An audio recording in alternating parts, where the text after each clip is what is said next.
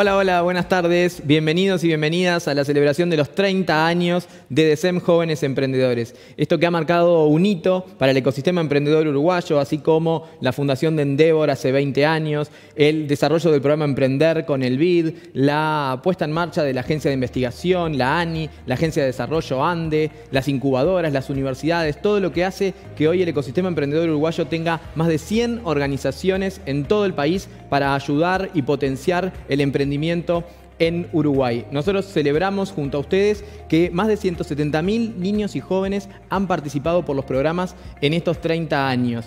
Eso merece obviamente un gran reconocimiento para los fundadores, para los directores que nos han acompañado y para todos los staff desde el 90 hasta ahora que han hecho posible que la fundación haya impactado en estos más de 170.000 niños y jóvenes. Hoy nos acompaña también la presidenta de DECEM, Patricia Márquez. Hola Patricia, bienvenida. Hola, ¿cómo estás? Bien. Este, bueno, buenos, buenos días para todos. Este, un placer que nos estén acompañando. Agradecemos mucho su, compañía.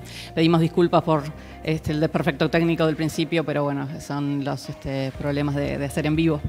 Este, bueno, no hay charla estos días este, que no empiece diciendo que es un año muy difícil, muy especial, pero para nosotros es especial también porque estamos cumpliendo 30 años en Uruguay este, y eso es gracias a eh, la Agencia de Desarrollo Internacional, que hace 30 años tuvo una visión de que se necesitaba eh, traer a Uruguay este tipo de programas para generar el espíritu emprendedor, para acercar la empresa a la sociedad, a los jóvenes, para enseñar a trabajar y también un grupo de empresarios que tuvieron también la visión y la pasión de seguirlo, que me gustaría nombrarlos, los tengo que leer porque si no me voy a olvidar de algunos seguramente, pero los fundadores de DECEM fueron eh, Chocho, Monseñor Luis del Castillo, Dugonchik, Federigotti, Perolini, Villa Mayor, Villar, Germán Villar, Januzzi y Víctor Servino, que todavía nos acompaña. Este, y creo que a ellos les debemos un agradecimiento por haber eh, soñado y haber eh, llevado a cabo este, esta, proeza de ir al exterior y traer los programas de Junior Achievement al Uruguay a través de, de DECEM. Eh, estos, programas que han llegado a, muchísimos jóvenes y niños, como, comentaba Pablo, eh, eh, son fundamentales para el desarrollo del espíritu emprendedor, que de alguna manera también permite el desarrollo de nuevas empresas, de pymes, de generación de trabajo y permite motivar a muchos chicos que quizás no tendrían otras oportunidades y que a través de los programas ven eh, la forma de poder encauzar su vida futura y laboral. Eh, hay palabras que, todo el tiempo resuenan en nuestros corredores, como es este compromiso, pasión, colaboración, profesionalismo, pero sobre todo lo que más este, nos mueve, yo creo que es, la el total convencimiento de que estamos por el camino correcto, de que todos los que trabajamos y dedicamos este tiempo, ya sea remunerado o no, a, DECEM es porque estamos convencidos de que las acciones que se llevan a cabo con los programas eh, generan cambios y generan cambios positivos y eh, ayudan a crecer la comunidad emprendedora en nuestro país. Eh, esto además, de alguna manera, lo vemos permanentemente corroborado en, los, testimonios, en cuando hacemos los programas, el entusiasmo de los chicos, en la motivación y también lo vimos ahora en los 30 videos que se filmaron para conmemoración de los 30 años, donde muchas personas que han pasado por nuestros programas en distintas este, etapas eh, grabaron eh, lo que había sido su experiencia y el impacto que había tenido para su vida futura y claramente este, también esto eh, refuerza este convencimiento que nosotros tenemos. Pero mm, esto es un esfuerzo de muchas personas y a mí me gustaría, dado que son los 30 años, de alguna manera este, detenerme unos, segunditos en, cada uno. ¿no? El staff, maravilloso staff liderado por Pablo, staff que este año nos sorprendió nuevamente, que nos sorprende cada día este, reinventándose desde sus casas. Al otro día de comenzar la cuarentena, el 13 de marzo, ya estaban pensando cosas diferentes, digitalizando los programas, y hicimos todos los programas, se hizo todo con mucho éxito dándole oportunidades a muchos chicos que también estaban en las casas a poder tener estas formaciones y, la verdad que no, tenemos más que agradecimiento y palabras de, halago para nuestro staff. El directorio, este directorio que algunas personas están desde el principio, este, otros están hace muchos años, este, y bueno, hay otros más nuevos pero directorio que está siempre al firme, acompañando, generando ideas, eh, dando soporte, ayudando con todo su, conocimiento y siendo muy generosos con su tiempo y, eh, con sus conocimientos y sus consejos al staff. Los voluntarios. Eh, el voluntario es una palabra que estos días lo escuchamos mucho porque fue el Día, Día Internacional del Voluntario. Personas que de alguna manera eh, dedican su tiempo a eh, generar cosas en las cuales creen, en las cuales piensan que, que, va a haber un impacto. Bueno, nosotros tenemos muchísimos voluntarios y sin ellos no podría existir DECEM tampoco las empresas, las empresas que son quienes nos acompañan, que hoy están muchas este, aquí, a las cuales agradecemos enormemente que nos acompañen, que hayan comprado nuestro sueño y que, que eh, lo, reafirmen año a año porque primero eh, sin ellas no sería posible tampoco y segundo son parte del motor de que, de que esto este, funcione y crezca año a año. Eh, las autoridades que siempre nos han dado soporte nos han permitido entrar a los liceos y a las escuelas con los distintos programas, también los liceos y las escuelas con sus autoridades que también nos han permitido entrar. Yo mirando, este, una amiga querida me, dio unos papeles este, que, encontró de Germán Villar, su suegro, este, y mirando un poco esos papeles, miraba cuando, cuando se fundó DECEM, y, este, es increíble porque la misión es la misma, o sea, eh, eh, no somos los mismos porque hemos crecido, porque somos más, porque la comunidad es más grande, porque tenemos más tecnología, porque tenemos más programas, porque era solo empresas juveniles, pero la misión y, la visión eran muy parecidas a lo que tenemos hoy de generar el espíritu emprendedor y tender puentes entre las empresas y la comunidad. Em, para terminar, yo eh, quiero dejar un mensaje de que el camino del emprendedurismo no es un camino fácil, es un camino difícil, que tiene eh, muchos errores, tiene escollos, tiene dificultades, frustración, eh, tiene una cantidad de, temas a superar, pero también tiene alegría, tiene logros, tiene conocimientos nuevos, tiene generación de nuevas relaciones, de nuevos vínculos y realmente vale la pena. Este, el otro día fue eh, se celebró un año de, la ley de emprendedurismo, que por suerte en nuestro país cada vez más se están fomentando, este, no solo desde el punto de vista normativo, sino desde el punto de vista de las organizaciones que están trabajando en estos temas, este, el emprendedurismo. Y hubo un homenaje en la Cámara de Diputados y el diputado Goñis eh, de alguna manera planteaba de que muchos de los emprendedores que hay hoy pasaron por DECEM, pero planteaba como el emprendedurismo como algo muy importante para el futuro de, de nuestra sociedad y nosotros realmente creemos que, es así. Eh, esto se trata de algo colaborativo, de algo que hacemos entre todos. Este, entre los papeles que encontré también de, Villar estaba este, la historia de los gansos salvajes, que como ustedes saben vuelan en, en B, que a, nuestro director Quique Baliño le encanta esa, esa metáfora. Vuelan en B y vuelan en B porque se apoyan unos a otros, porque se tapan el viento, porque cuando se cansa el que va adelante va para atrás y viene otro. Entonces nosotros creemos en la colaboración, creemos en el trabajo conjunto y creemos que todos juntos podemos hacer un país mejor. Eh, el otro día leí una frase que me gustó mucho, que estaba vinculada al medio ambiente, pero creo que es aplicable a esto también, que decía, no tenemos que dejar un mundo mejor para nuestros hijos, tenemos que dejar hijos mejores para nuestro mundo. Y creo que todas estas, eh, todas estas eh, ONGs y todas estas personas que están trabajando para el emprendedurismo también este, colaboran en ese sentido. Bueno, los dejo para que sigamos con, con la ceremonia. Eh, muchas gracias a todos nuevamente, gracias por acompañarnos y, este, y bueno, y el año que viene seguiremos este, trabajando juntos. Muchísimas gracias Patricia por este mensaje en nombre de todo el Consejo Directivo. Tenemos las redes sociales para que ustedes puedan compartir lo que están viviendo desde sus casas. Obviamente este es una modalidad para cuidarnos entre todos, para mantenernos eh, con todas las alertas este, por la situación de pandemia que estamos viviendo. Y estamos usando hoy el hashtag DECEM30 años. Además eh, nos pueden etiquetar, mencionar en, en Instagram, en Twitter, en Facebook, en LinkedIn, en el canal de YouTube. Por todos lados nos pueden encontrar encontrar para amplificar esta voz, para celebrar estos 30 años de la Fundación y para seguir promoviendo el emprendimiento en nuestro país. Como les contábamos, hoy somos muchos los que estamos conectados, más de 200 personas que lo están viendo en vivo y que contribuyeron para que este evento benéfico también llegue a sus objetivos. Así que vamos a pasar a agradecerles a todos los que eh, han eh, participado, como IBM, BBVA, Pronto, Mercado Libre, HSBC, Scotiabank, OCA, PwC, Montecudine. También tenemos la participación de Créditos Directos, Unilever, Itaú, World Trade Center, Montevideo Free Zone, Guyer y Regules, República Fab, Nestlé, Zona América, XN Partners, Pixis, FNC, SEM, Quinas, Unión de Exportadores, Tecnomadera, Carle Andrioli y BID. Y además Queremos agradecer también a los apoyos para este evento, Coca-Cola FEMSA, Bromiros, McDonald's, Infonegocios, María Pasión, El País, Montevideo Shopping, Open Up y Enjoy. Al final vamos a tener unos sorteos, así que les, quedo, les recomiendo que se queden porque eh, van a estar buenos esos premios y alguno de ustedes se los va a poder llevar.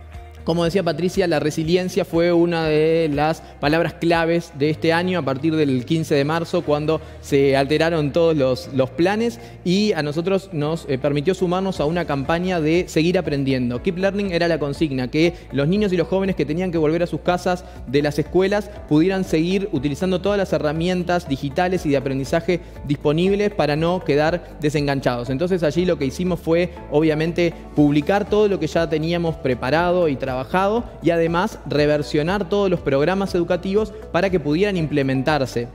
Eso fue uno de los hechos obviamente más importantes de, este año. Agradecemos a todos los contribuyentes que también nos acompañaron y sostuvieron este año para eh, seguir llegando a todos los niños, a todas las poblaciones objetivo, a todas las localidades, incluso en el interior del país, en áreas rurales, en todo tipo de centros educativos. Para nosotros eso fue eh, muy valioso. Y les voy a comentar algunas de esas iniciativas eh, destacadas. Uno de ellos es el programa Emprendimientos Sostenibles, que fue una nueva propuesta en la que invitamos a jóvenes que ya tuvieran su emprendimiento entre 18 y 29 años a que postularan a un programa para eh, ver el tema de la sostenibilidad, eh, del triple impacto, ¿no? no solamente el económico cuando pensamos en un emprendimiento, sino también el social y el ambiental. Seleccionamos a 50 y eh, ellos vivieron un programa de capacitación virtual que tuvo representantes de 10 departamentos de todo el país y ahora van a pasar una segunda etapa en la que van a recibir capital semilla y mentoreo 17 de esos emprendimientos.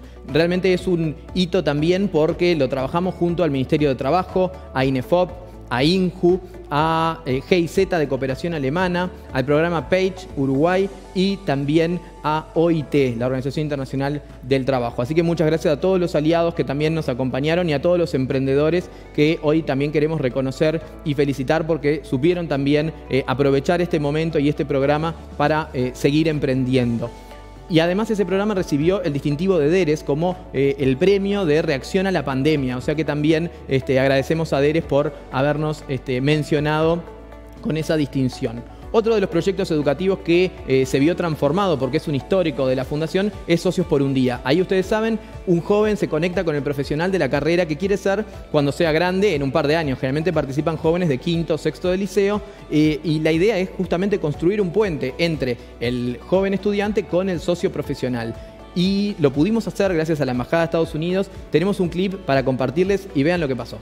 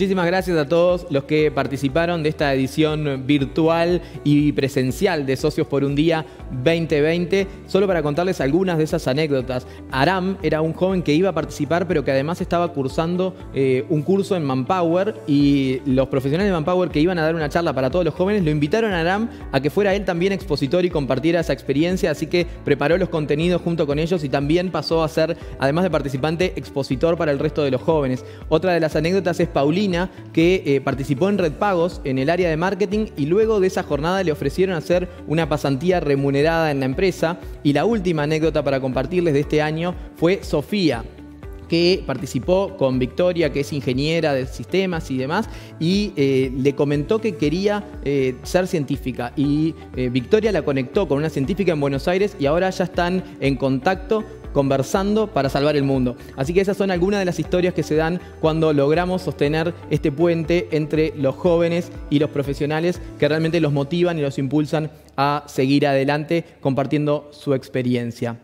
Bueno, para hacerles el resumen de, lo que llegamos con todos los programas, fueron 24 proyectos educativos ejecutados, distintos, en 240 talleres, un 60% se dieron en modalidad presencial y un 40% en forma virtual para eh, completar así más de 70 horas de streaming. Eh, este año pasamos a hacer un estudio en vivo en nuestra fundación en la mayoría de los días. Eh, tener más de 25 speakers invitados que agregaron muchísimo valor. Aprovechamos la virtualidad para que gente con muchísima experiencia pudiera llegar a todas las aulas y a todas las casas de los jóvenes y multiplicando jóvenes por cantidad de horas alcanzamos más de 35.000 horas de capacitación solamente en este 2020. Así que muchísimas gracias a todos los que eh, lo hicieron posible. Otra de las cosas que aprovechamos también fue eh, la internacionalidad. Eh, acá en Uruguay llegamos a 4.065 participantes de los 19 departamentos. Ese es el impacto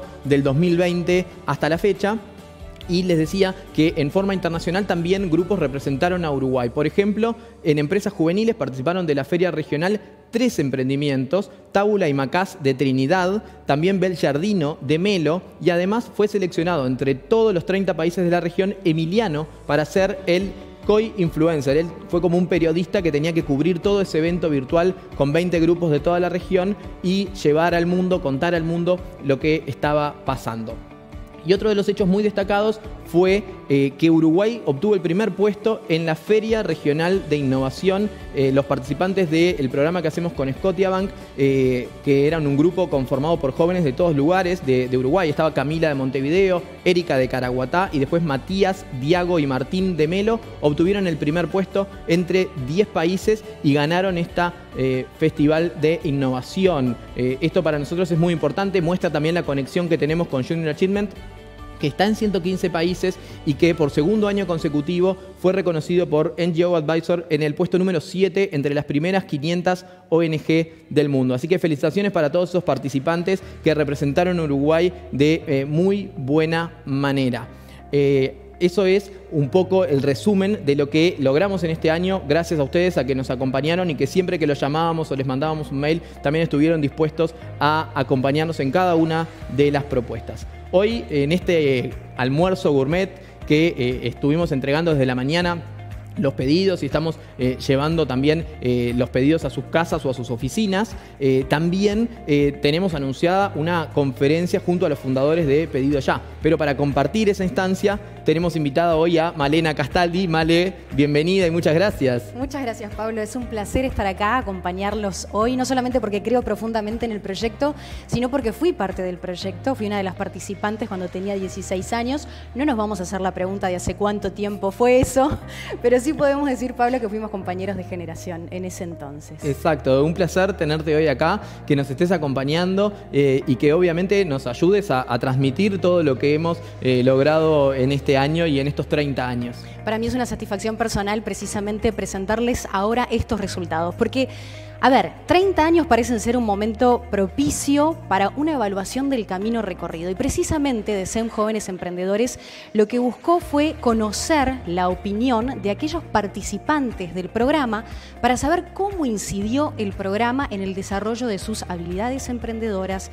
de sus capacidades emprendedoras y también en la definición vocacional. ¿Qué hizo entonces una encuesta? Le preguntó a los participantes cómo había incidido este programa que lo cursaron en su adolescencia y durante su juventud para conocer qué se ha hecho en estos 30 años y tomar de allí información cuáles son los logros, cuáles son los desafíos hacia adelante. Para realizar esta encuesta se contó con el apoyo de la Agencia Nacional del Desarrollo, específicamente del área de monitoreo y evaluación. Esta área de monitoreo y evaluación procesó las respuestas de 857 graduados del programa. Y los invito ahora a compartir algunos números, algunas cifras que nos dan una idea del alcance de este programa. Entre 2008 y 2019 hubo 9.035 graduados. El 63% de ese total son mujeres y un 37% son hombres. En total participaron 166 centros educativos, un 63% públicos, un 37% privados. ¿Qué pasa con la, localización a nivel país? Un 59% de sus centros educativos se encuentran en el interior y un 42% en Montevideo, en la capital. La encuesta de la cual estamos hablando se desarrolló entre julio y agosto de este año y precisamente se le consultó sobre los tres pilares del programa. Les decía, habilidades emprendedoras, capacidades emprendedoras y definición vocacional. Y acá estamos viendo ya una de las placas con los resultados. Acerca de si estas personas, estos graduados, creen haber desarrollado habilidades emprendedoras. Estamos hablando de habilidades blandas y personales. Acá tienen los resultados para las respuestas de acuerdo y muy de acuerdo. Para trabajo en equipo, un 94% considera que sí hubo desarrollo de estas habilidades del trabajo en equipo a razón del programa. Comunicación con otros, un 88%. La capacidad de enfrentar problemas, un 87%. El logro de objetivos, también un 87%. La resiliencia o la adaptación al cambio, un 79%. Vamos a la siguiente placa que nos habla de las capacidades para emprender, es decir, estas capacidades que ellos consideran que interiorizaron a través del programa y que tienen que ver con la ejecución de un emprendimiento y propiamente del desarrollo de un negocio. Y ahí están. Planificar un 91%, capacidad para emprender un 87%, ventas 79%, capacidad para innovar y para desarrollar ideas un 78% y para generar oportunidades un 77%. El último pilar de este programa tiene que ver con la vocación emprendedora, la capacidad de identificar y también de visualizar el, potencial para emprender y la definición además en la vida profesional de aquellos graduados del programa. Miren ustedes los datos. Para el 68% fue importante o muy importante para su carrera laboral y profesional posterior haber participado del programa de DECEM Jóvenes Emprendedores. Y para un 62% fue importante o muy importante para definir sus objetivos personales independientemente de la profesión, carrera u oficio que optaran. Así que el programa, lo que estamos viendo con estas cifras es que genera una receptividad entre los estudiantes y miren ustedes por qué. Miren este dato, un 97,5% de los graduados recomendaría participar del programa de empresas juveniles.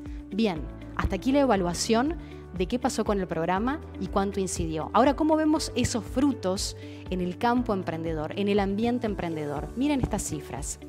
Ahí están datos interesantes para compartir con ustedes acerca del impacto. Estamos hablando de que un 37%, un 35% integra hoy un emprendimiento como socio o como director. Un 81% tiene pensado emprender su propia empresa, su propio negocio o proyecto y casi dos de cada diez piensan hacerlo en los próximos seis meses a un año.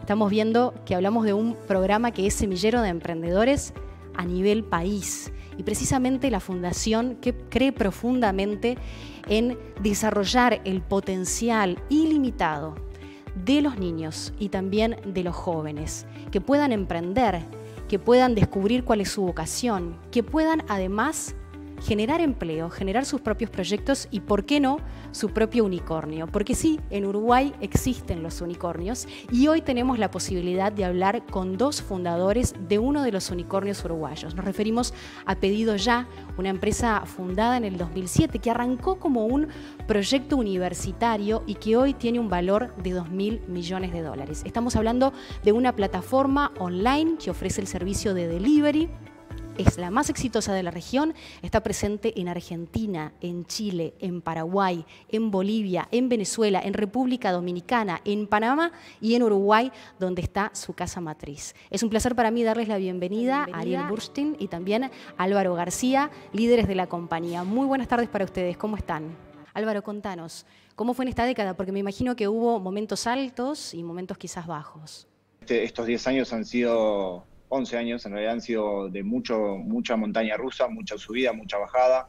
Eh, tenemos historias de celebraciones ¿no? de, los mejores momentos, momentos en los que también obviamente te planteas de tirar la toalla porque, bueno, eh, por distintos problemas, pero bueno, siempre hay que tener esa fortaleza, esa persistencia, tener muy clara la visión hacia dónde querer ir y obviamente acompañarse de gente que tenga muchísimas ganas de, avanzar, de crecer y, bueno, de empujar para adelante.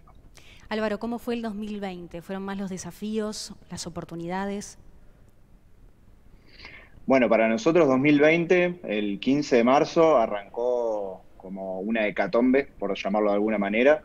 Em, fue un aumento de... Nosotros somos eh, una de esas compañías que por suerte se vio beneficiada eh, de, bueno, de la pandemia en un contexto lamentable, como ya todos sabemos, pero bueno, tuvimos un aumento de la demanda muy grande eh, y eso obviamente hizo que las operaciones para nosotros colapsaran.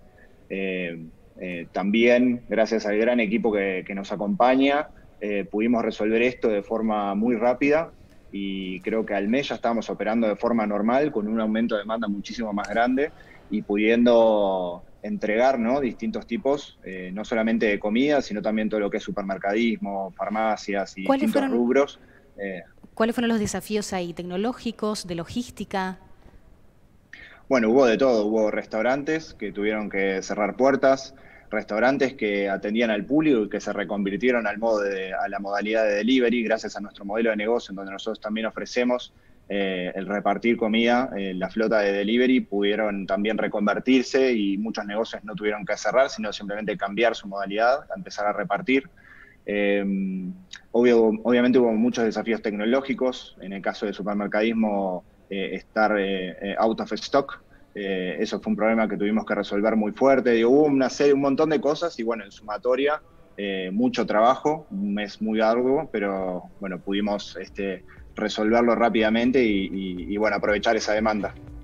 Precisamente tú hablabas de la demanda. Uno se imagina que el periodo más fuerte puede haber sido ese mes y medio donde el quédate en casa estuvo tan fuerte y que la gente respondió con tanto compromiso. ¿Fue así o esa demanda alta se mantuvo con los meses?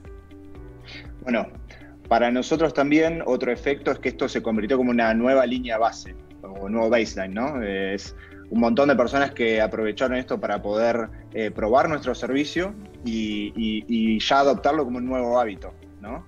Eh, hubo otras industrias también, como tener, atender a clases online, el entretenimiento por streaming, em, em, también hacer la gimnasia desde casa, online, y, vemos que hay como muchas industrias que terminaron siendo como una especie de híbrido. Eh, en nuestro caso es algo que se sigue dando y sí es un, creemos aproximadamente en nuestra estimación que se nos adelantó dos o tres años en adopción de nuestro servicio. Eh, y bueno, esto es algo que de nuevo, como un nuevo baseline y que vamos a seguir aprovechando y seguir creciendo a partir de ahí. Se adelantó dos o tres años los objetivos que ustedes tenían originalmente previstos a razón de la pandemia. Exacto. Bien. Ariel, hace minutos nada más Álvaro mencionaba que no solamente es gastronomía, sino que están hablando de conectar oferta y demanda por supermercados, tiendas, farmacias, hasta hay servicios para mascotas. Imagino que la pandemia impulsó esta decisión o como ustedes decían, aceleró decisiones que estaban previstas para más adelante. ¿Cuánto tiene que ver con los hábitos de consumo de la gente y lo que tiene que ver con las compras en línea? Bien. ¿Se me escucha bien? Sí. Sí, perfecto. Ahora excelente. Nosotros apuntamos a, la comida, es, era el 100% de nuestro negocio hace unos años atrás y cuando empezamos a a darnos cuenta que nuestros propios usuarios querían, querían inmediatez y también empezar a probar otros servicios. Fuimos haciendo distintas pruebas en distintos mercados y ahí comenzamos con, con groceries, apalancándonos de supermercados que ya existen y empezamos a probar que era una necesidad enorme que tenían nuestros clientes. Y este año, apalancado con la pandemia y quedate en casa, empujamos, o sea, en marzo se nos ocurrió decir, bueno, vamos a hacerlo ahora, lo de tener los dark stores propios, que son eh, los warehouse donde nosotros manejamos entre 3.000 y 5.000 SKUs, que son los productos únicos del supermercado. Y fue así que hoy estamos como en 40 eh, supermercados propios en, en, la región donde nosotros operamos. Y estamos apuntando a tener más de 150 el año que viene y que el negocio de food, de comida, sea el 70% del volumen del negocio y el 30% del volumen que sean todos estos otros negocios que son los del supermercado propio, que sirve como complemento. Vos te haces un pedido de comida, te faltan las bebidas, la bolsa de hielo, algunas cosas para, para picar este, cuando estás con gente en tu casa o con tu familia, y que puedas también en menos de 20 minutos tener un servicio que tenés eh, el mini mercado, digamos, en tu casa. Así también complementamos con farmacias, eh, comida para mascotas y otros verticales que vamos agregando en base a cada país lo que haga sentido, algunas tiendas de conveniencia. Esa es un poco la visión. Y atarlo también con servicios de pago que van a ser las wallets propias de pedido ya, como tenemos y apuntamos a que los usuarios nos usen hoy de 3, 4 veces por mes a 5, 6, 7 y 10 veces o más. Eh, queremos que también tengamos una billetera propia donde también se puedan ir beneficiando y el día de mañana hasta puedan ir a un restaurante y pagar con, con, con la billetera de pedido ya directo. O sea que se vienen innovaciones también en cuanto a los medios de pago. Eh, ¿Podrías repetir? Se vendrían innovaciones también en cuanto a los medios de pago, hasta lo que conocemos hoy que funcionan en la plataforma. ¿Me están escuchando ustedes? Ahí está. Sí, sí, sí. Sí, para nosotros sí, es parte, una de las filosofías también que tenemos como modo de trabajo para nosotros es encargarnos de, prestar mucha atención en la experiencia del cliente o customer experience, como nos, nos, gusta llamarlo. Y lo que buscamos es que todo ese flujo de compra para nosotros sea eh, excelente, prolijo, sencillo, fácil de entender y bueno, cumplí con la promesa, digamos, en la hora de entrega, por ejemplo, con horarios y demás. Eh, en ese flujo también está la parte de pago, que bueno, muchas veces, eh, quizás en Uruguay no se vive tanto, pero por ejemplo en países como Argentina, a, veces hay mayores fricciones a la hora de querer pagar con tarjeta de crédito y demás. Así que sí, ahí tenemos como un capítulo o un subcapítulo, le llamamos como la experiencia de pago y es justamente uno de nuestros pilares estratégicos, sobre todo para 2021, es, cómo podemos hacer para que sea más fácil pagar, que haya menos fricción. Eh, y eso va de lo más básico, ¿no? De poder ofrecer todos los medios de pago, así como una de las cosas que ya estamos probando es que un mismo usuario pueda cargar saldo dentro de la aplicación y ese saldo ya pueda ser utilizado dentro del ecosistema de pedido ya, que de nuevo ofrece una serie de variantes, desde comida, supermercado, farmacia, bebidas, comida para la mascota y demás, eh, con lo cual, bueno, que esto al ser utilizado todos los días, uno ya pueda contar con ese saldo directamente para ser utilizado ahí.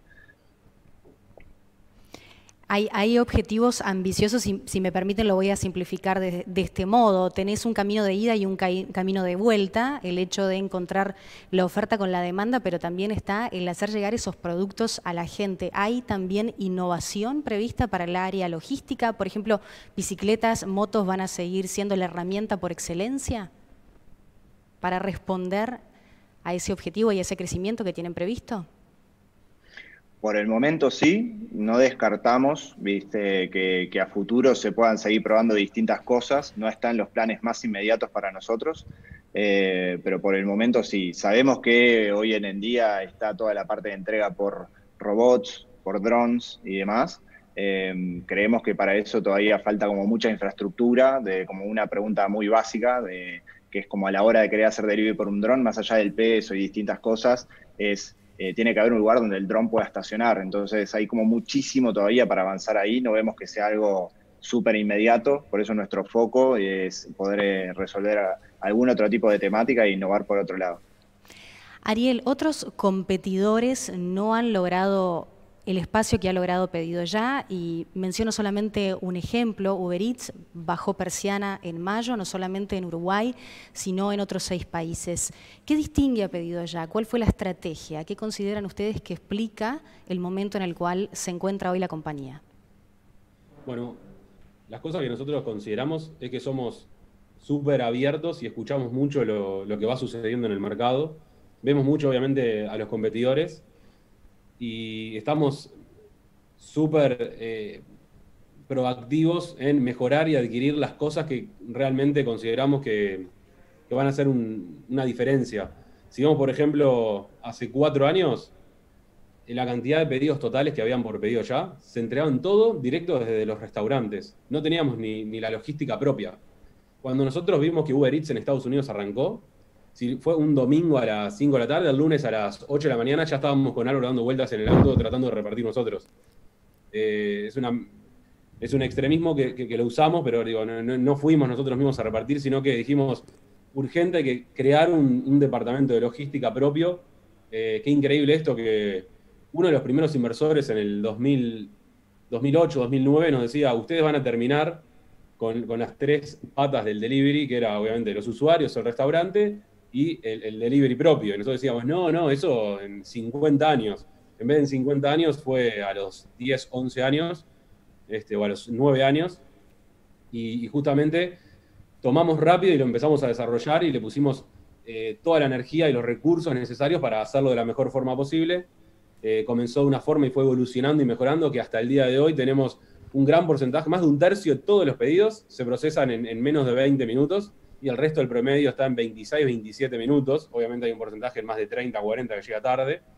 Entonces, una de las claves es tener la, habilidad o, priorizar las cosas que realmente van a, van a crear un buen servicio al, usuario.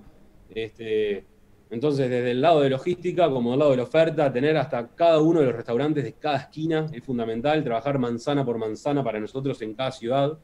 Este, no dejar afuera a nadie, que, realmente los clientes quieran, quieran tener esa oferta de restaurante. Eh, también producto y, tecnología. Vamos reinventándonos todo el tiempo. Álvaro, como, como encargado de producto y de marketing eh, toda la vida en la compañía, eh, no había cada dos meses que venga y diga, esto ya no sirve, está obsoleto, hay que hacerlo de nuevo. Yo otra vez, lo hicimos hace tres meses. Y bueno, constantemente hay que tener como esa pasión y esa locura de estar reinventando y, generando la mejor usabilidad y, tratando de llegar a, ir alcanzando el gap de lo que va sucediendo en la velocidad del mundo, de la sociedad. Eso es por un lado, y por otro lado, creo que fuimos teniendo una buena respuesta en el crecimiento eh, en cada mercado y un foco total, local, que a través de los managing directors nuestros eh, logramos tener el ADN local de cada país para poder este, hacer hiperlocales, ser los dueños de cada manzana y dar el mejor servicio ahí en, cada barrio. Y, con el apoyo de, obviamente, de los inversores y después del 2017, este, que, fuimos parte del grupo alemán, decir nada, necesitamos, lo que necesitamos para, hacer frente a la competencia lo, tuvimos y por eso eh, creemos también que, nos concentramos en los mercados para decir, tenemos que, ser los líderes, que es parte del ADN y, la filosofía que, tenemos ahora como grupo entero en el, mundo, y, logramos tener ese funding necesario para, poder lograrlo. Mismo desde las rondas, de, en las tres etapas que nosotros lo dividimos, 2008, desde que empezamos con todo el apoyo del Estado, creo que ahora estaba viendo que estaban este, algunas personas de la ANI, profesores ángeles que tuvimos que también creo que están participando acá en la charla, eh, todo eso nos fue catapultando y en sus debidas, en sus debidas etapas fuimos eh, aprovechando e invirtiendo en, las prioridades que nosotros consideramos que eran las más importantes en su momento. Entonces, en esa etapa, hasta la etapa del, 2013-2014, que, que, entró el grupo alemán como socio estratégico, al 2017, que fue la salida a bolsa, y del 2017 ahora sería como el tercer tramo que, fue la etapa más agresiva, la que pasamos del 2017 de un, millón y medio de órdenes por mes, era un montón, a casi 15 millones de pedidos por mes que estamos procesando. Es un montón en estos tres años, 10 veces, este, y así también fue la inversión. Eh, inyectamos como 279 millones de dólares en estos tres años de, inversión, aparte de todo el flujo del negocio, para poder este, nada, queremos ser líderes en los mercados. Entonces, un poco fuimos eh, trayendo los resultados, avanzando e invirtiendo para, lograrlo. Entonces fue, fue un camino muy, muy duro. Tremendo. Y en septiembre se da la compra de Globo. Y en septiembre, otro paso para, eso, ser líderes en, América Latina o Hispanoamérica, este, dejando de lado Brasil. Eh, necesitamos esa región de Ecuador, Perú y Centroamérica, de algunos países que todavía no estábamos, y fue estratégica para nosotros esta compra de Globo en septiembre, sí. ¿Cómo se adapta la cultura organizacional de pedido allá teniendo en cuenta todos los países de la región en la que están? Porque uno puede pensar en similitudes, pero cada país y cómo consume este, cada ciudadano es, distinto.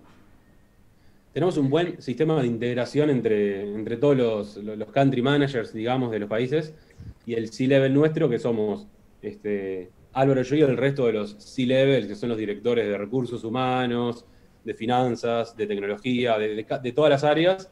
Tenemos muchísima comunicación, tenemos eh, sistemas de, comunicación y reuniones eh, semanales, bisemanales y mensuales con todos estos participantes locales, digamos, que son los country managers.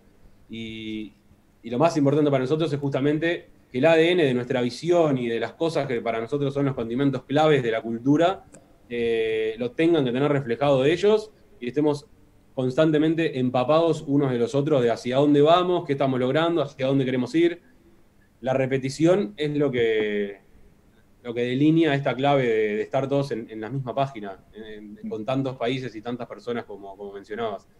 La constante repetición y comunicación y trazar y hacia acá vamos, tener el tablero allá, allá arriba y repetirlo, reiterarlo, hacerlos parte a ellos también de la construcción, que es fundamental, y no solo decirles hacia dónde queremos ir con Álvaro, sino que ser ellos parte de nosotros y somos todos un mismo grupo y un mismo equipo. Para complementar un poco lo que cuenta Ari, también tenemos eh, un área de investigación que también es, una, parte, un pilar muy importante de esto. Eh, una, de, una de, los, de, las cosas que llevamos eh, practicando desde los inicios y hasta el día de hoy es poder estar cerca de los clientes. O sea, y cuando hablamos de los clientes, para nosotros son los usuarios finales, nuestros repartidores, nuestros eh, socios, ¿no? los restaurantes, supermercados, nuestros propios supermercados y demás. Y para nosotros es súper importante tener conversaciones con ellos. Esas conversaciones pueden ser en formato entrevista, encuestas, eh, grupo foco. Eso es lo que nosotros llamamos la parte más de aprendizaje cualitativo. Eh, y es súper, súper importante. En ese, en ese pool, si se quiere, de aprendizaje o de conocimiento cualitativo, también incluimos a nuestros MDs, eh, y sobre todo este ecosistema, de alguna manera, como cuenta Ari, está forjado en un ambiente muy colaborativo, ¿no? Esta eh, analogía o metáfora que hablábamos de, las aves en forma de B, para nosotros es uno de los pilares más, más importantes también a nivel de, la organización.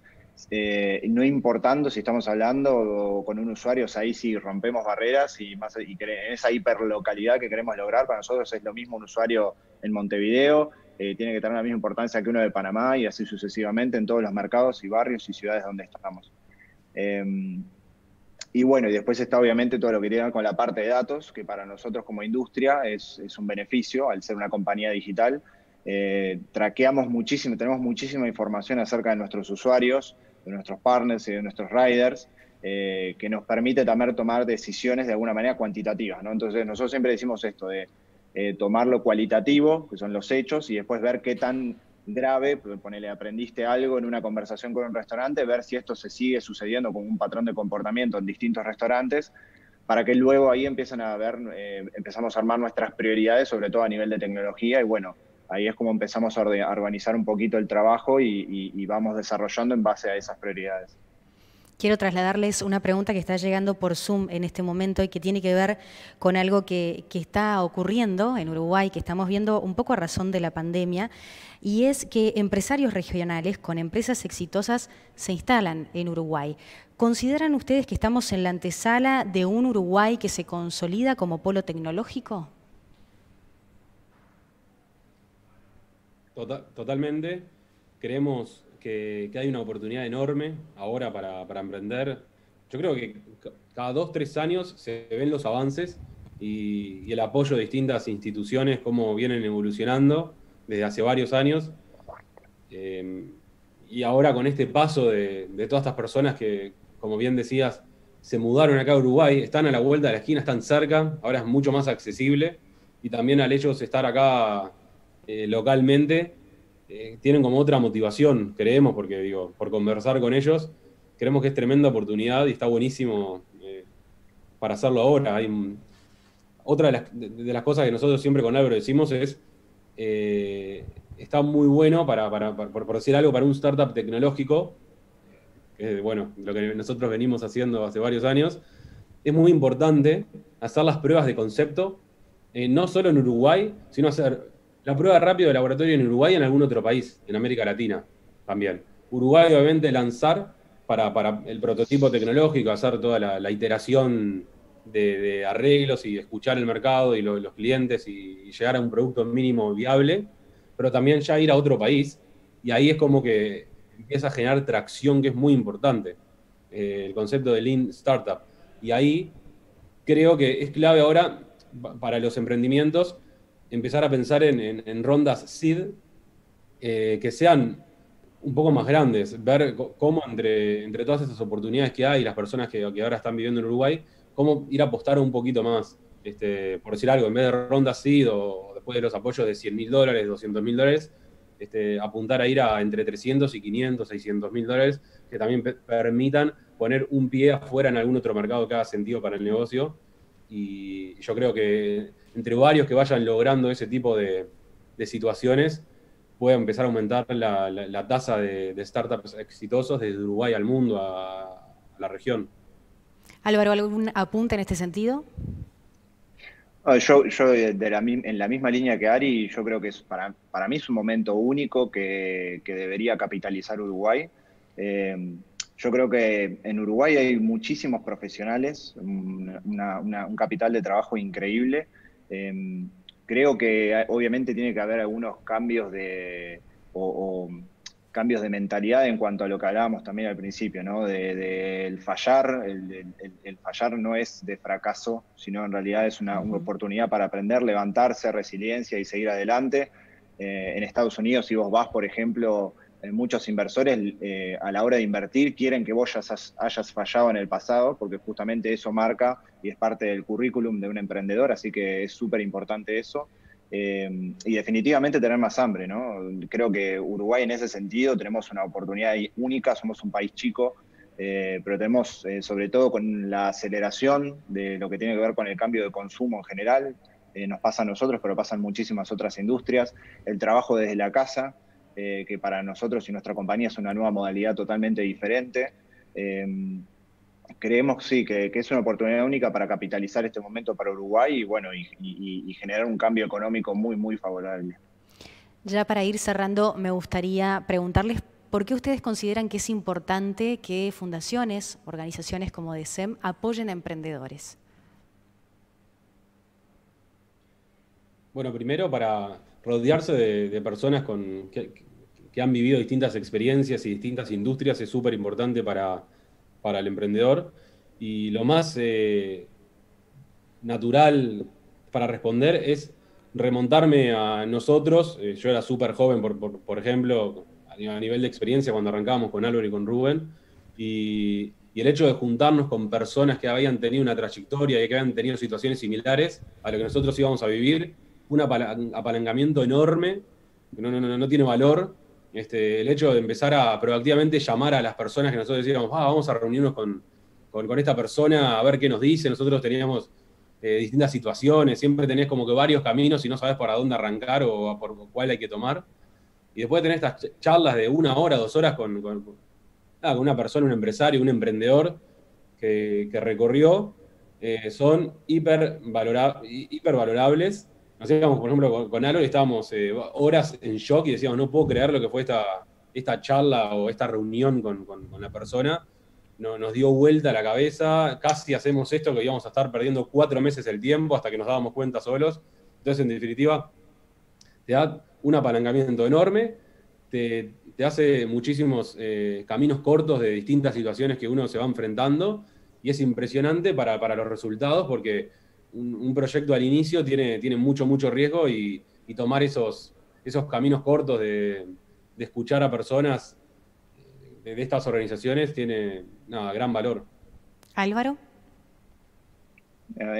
también en la misma línea, creo que, y un poco lo que yo contaba al principio, eh, creo que es esto de cuenta Ari, para nosotros fue fundamental, nosotros un poco por curiosidad eh, quisimos emprender, un poco de bichito natural nuestro, pero también para nosotros fue, lo primero que hicimos fue empezar a juntarnos con distintas personas, que fueron un montón de, personas que nos, aconsejaron y fue hasta el día de hoy. Recordamos eh, vívidamente esas reuniones porque nos, nos ayudaron un montón al principio, donde uno por ahí es más inocente y no, no conoce, como decía, también éramos muy jóvenes y era muy divertido lo que estábamos haciendo y obviamente eso eh, empezaron a aparecer un montón de desafíos en el, en el transcurso y más allá de la actitud es importante que uno también tenga conocimiento para poder afrontar y, llevar adelante esas situaciones.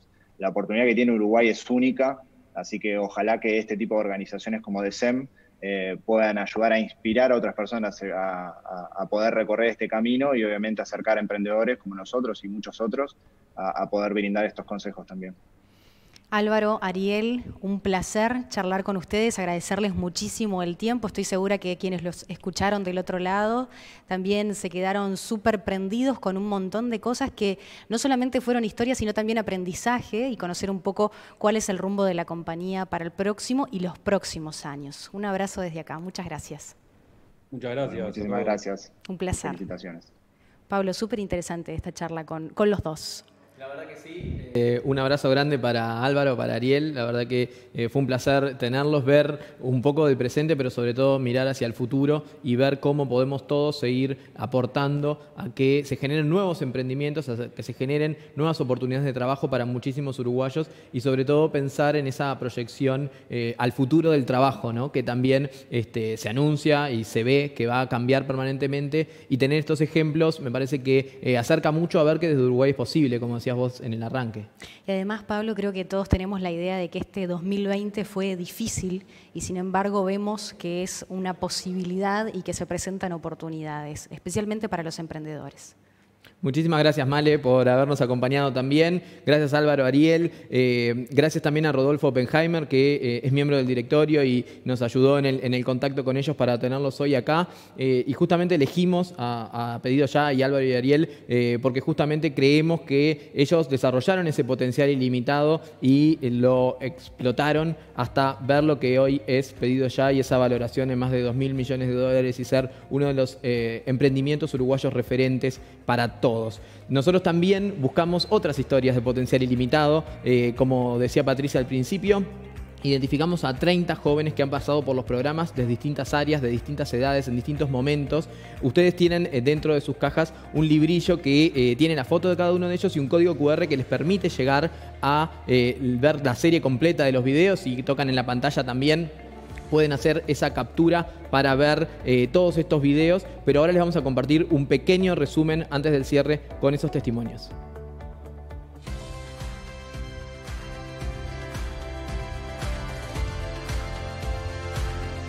Este año de SEM cumple 30 años, entonces en todo este tiempo hay muchas historias de muchas personas desde distintos roles que valía la pena compartir. De esos hitos que uno piensa para atrás, digamos, y dice, bueno, ¿por qué estoy hoy donde estoy? Seguro que, el haber participado del programa Empresas Juveniles tiene muchísimo que ver con lo que, con lo que soy hoy, digamos. Yo creo que sin duda en, en ese momento uno no dimensiona del todo la cantidad de cosas que está aprendiendo. Y hoy, mirando para atrás, me doy cuenta que fue la primera vez que me enfrenté a entender una estructura de una empresa. La experiencia obviamente de DSM me abrió esa posibilidad de explorar otros mundos y de poder realmente tomar contacto con, lo, que, lo que yo realmente quiero hacer.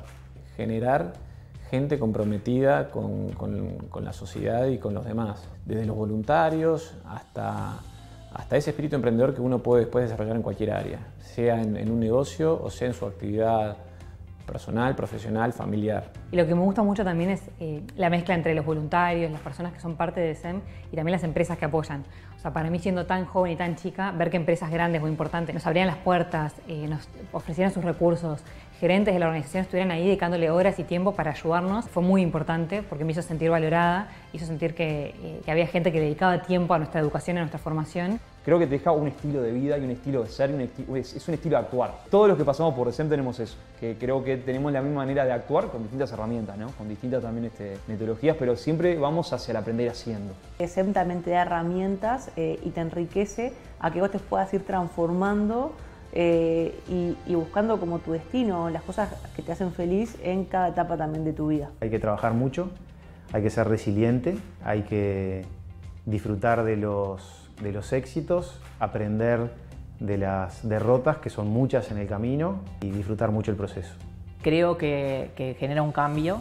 He visto una cantidad de casos de, de cambios en los cuales el programa les mostró una realidad, un horizonte y un lugar a donde llegar que capaz que no lo habían visto hasta ese momento. Creo que eso, es ese, ese motor que cuando te logró activar ciertas cuestiones, después terminás agradecido de por vida.